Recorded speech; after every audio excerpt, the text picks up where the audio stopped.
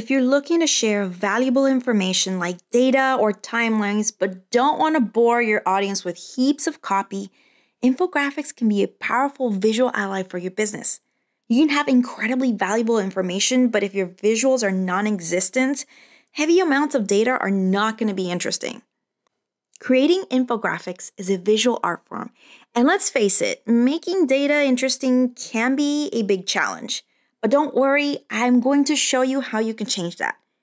In this tutorial, I'm going to show you how to figure out which type of infographic to focus on and how to create an infographic on Adobe Spark Post. Let's head over to the desktop version of Post and we'll get started.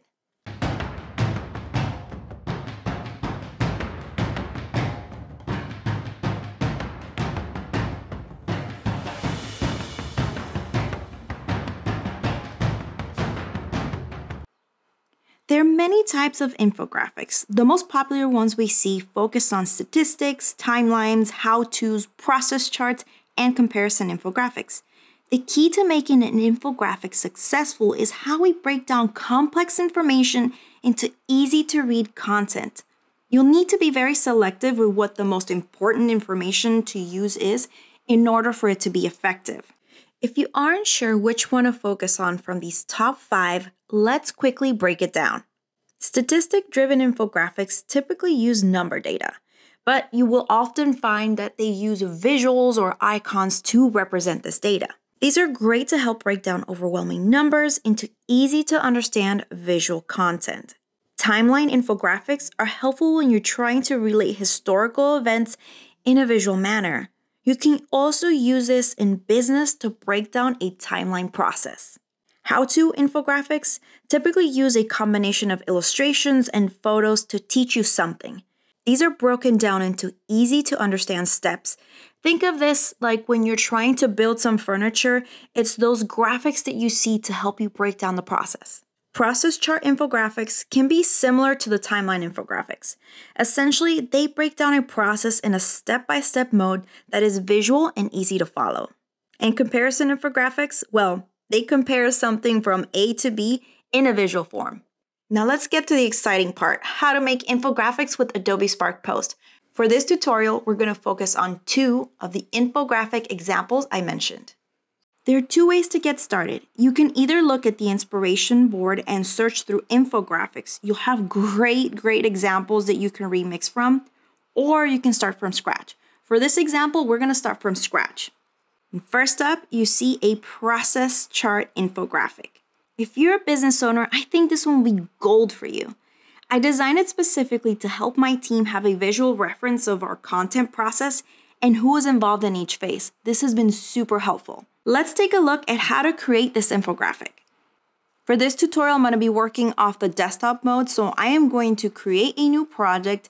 I'm going to start with a custom size graphic.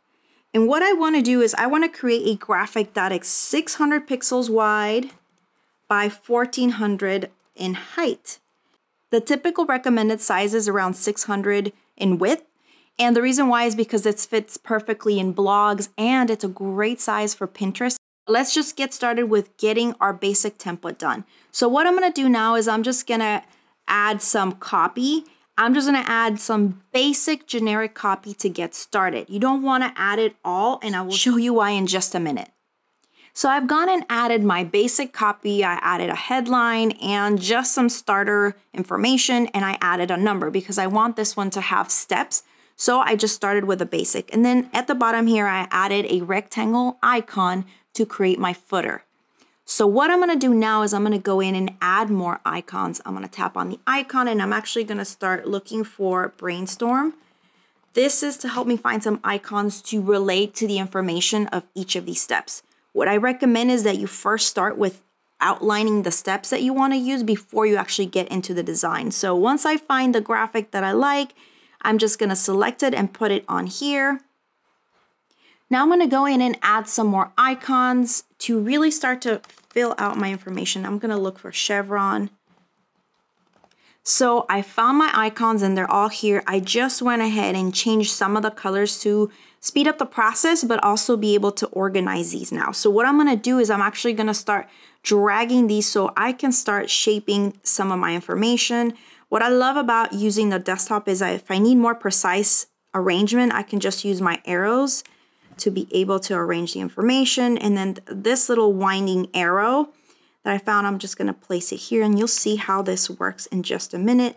Then this little chevron guy, I'm going to bring up here and I want him to be facing towards the right because I want this to be a directional cue telling people what is next. So we kind of use this as a visual guide to help direct the eye. And then I have this little icon that I'm using that's reflecting to the information here and my number one to just direct the steps. Next, what I'm gonna do is I'm just gonna select on one of these and then I'm gonna select multiple. To select multiple items on the desktop version, you're just gonna hold the shift key and select each of these items so that way you can duplicate them. So then what I'm gonna do is I'm gonna tap on this duplicate icon and voila, we have our content. Now I can just go in and arrange this. So what I'm gonna do next is I'm going to start arranging some of my content, moving this arrow as you can see now I'm using that as another directional cue. And then I wanna shift this chevron to face the other way. So that way I can bring my content and it's telling the eye to look towards the left with the information. Once I have this structured, you'll see how this works. I'm just arranging my icon this way and I want my number to be on this side so that I can use the numbers correctly. Now you can see how this arrow is now peeking out. So what I'm gonna do is I'm gonna bring this in here and now we're starting to use this arrow as an interwinding guide in between these steps. Now I've added all the content for each of these steps. I changed my icons and I arranged this little arrow to have more of a directional field. Next, what I'm gonna do is I actually wanna add a nice little icon on the background to create some more texture. So I'm gonna actually look for texture and I'm going to look through all the options that I have here to be able to create this nice faded effect that I had. Once it's in here, I'm just gonna make this larger and I'm going to bring this to the back because I don't want this on top of any of my copy. So I reduce the opacity, just adds a little bit of texture, which makes it more appealing. Next, what I'm gonna do is to make this effective and really help people see who is doing what, I'm gonna add just a circle icon and I'm gonna color code these for each person that's working in the project. And this will help me be able to create these little color coded information that I was showing you earlier. So I'm just going to start placing this here. And the reason why I'm doing this step last is because I wanted to be able to know each of these steps first and then decide who is focusing on what. So now you see the next version, which is where I created each of these individually and I went and reselected them all like I did with the process here. I duplicated them and then I just removed the one that I didn't need for the person involved. So this is really helpful if you have a team or if you need different types of processes, then you can add a little key down here. And I just put the initials of our team members and who was focusing on what. And this really helps have a good visual reference in your process and your production timeline. Now, the other example I want to share with you is a statistic driven infographic. I know I mentioned earlier that most of them typically use numbers as far as their data goes, but data can also be a lot of language and letters. So this one's more like informational and we're using visuals here to tie into Arctic species that are affected by climate change. So we're not going to go into the whole process again of how to create this, but I do want to break this down for you to be able to see how I created this one since it's different. So I created the same structure with my headline, my copy. I have a background image that I found from the free resources we have inside the app. So I just can look for free photos. I search for iceberg. And then I found this one that had a really nice contrasting background, which allowed me then to set up the background to be black or the same color. You can use the eyedropper to match.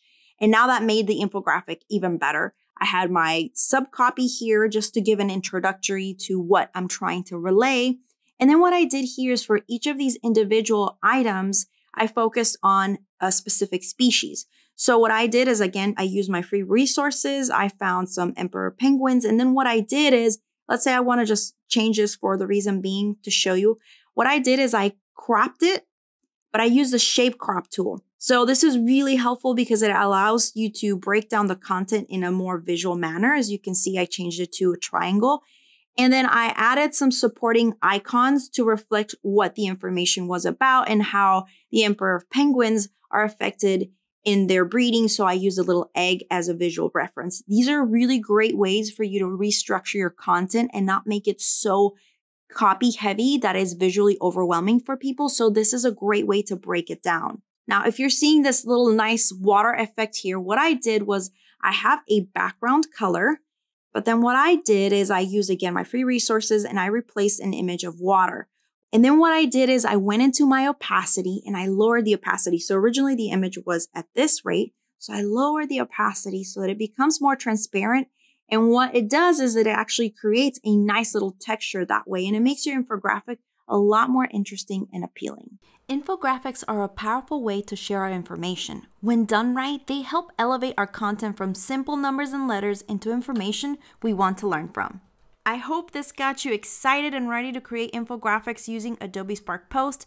Let us know in the comments below what you thought and what you're going to get creating. This is Nicte Cuevas of Nicte Creative Design, and I will see you in the next Adobe Spark tutorial.